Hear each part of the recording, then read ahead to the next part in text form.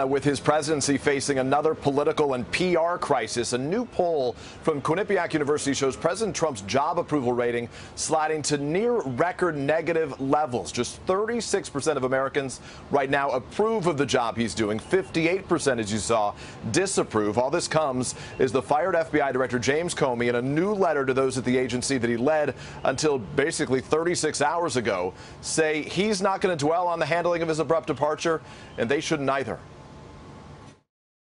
This morning, ousted FBI Director James Comey, seen outside his home Wednesday, is breaking his silence.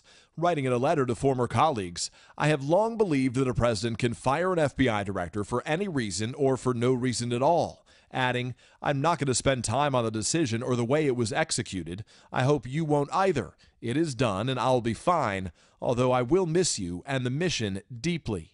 President Trump, for the first time, offering his own explanation on Comey's ouster while sitting down with Richard Nixon's Secretary of State, Henry Kissinger. Why did you fire Director Comey?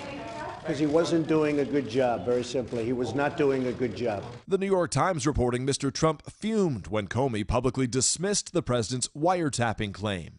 I have no information that supports those tweets. The Times also reporting Comey was flabbergasted after the president accused former President Obama of wiretapping him, adding Comey told associates he believed the president was outside the realm of normal, even crazy. The White House saying the president was strongly inclined to remove Comey after watching his Capitol Hill testimony last week, then meeting with Deputy Attorney General Rod Rosenstein and Attorney General Jeff Sessions on Monday expressing his concerns that Comey should be fired. A White House spokeswoman saying the president's deliberations date back months. I think it's been er, an, an, erosion of confidence. Sarah Huckabee Sanders insisting Comey also faced opposition within his own ranks. The rank and file of the FBI had lost confidence in their director. But current and former agents dispute that. You're going to have people that like what the boss is doing and don't like what the boss is doing. But overall, I think uh, Director Comey had the support of the rank and file. And we're learning more about how even White House staffers were kept in the dark about the president's decision to dismiss Comey. A senior White House official telling NBC's Stephanie Ruhle many staffers, including some top aides, learned Comey's fate from cable news, some of them frustrated not by what the president did, but how he handled it.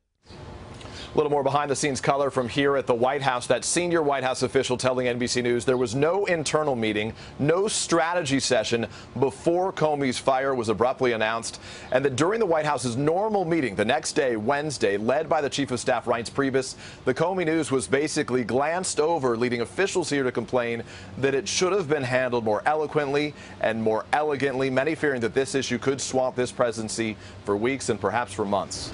Matt and Savannah. Peter Alexander starting us off. Thank you.